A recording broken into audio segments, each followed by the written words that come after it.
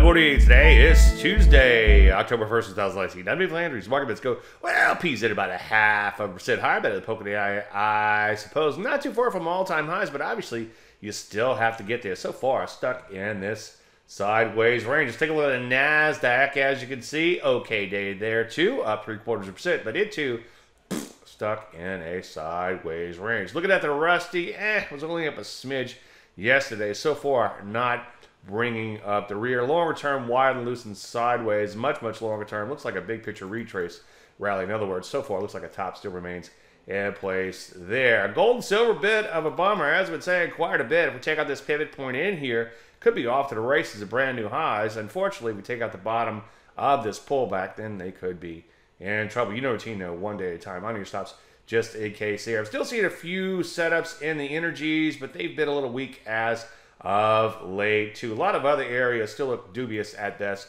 such as software, drugs, health services, and quite a few others. So, for the most part, you probably want to just sit on your hands. Any questions, as usual, Dave, DaveLandry.com. I'm Dave Landry, and you, sir, Buck Minute.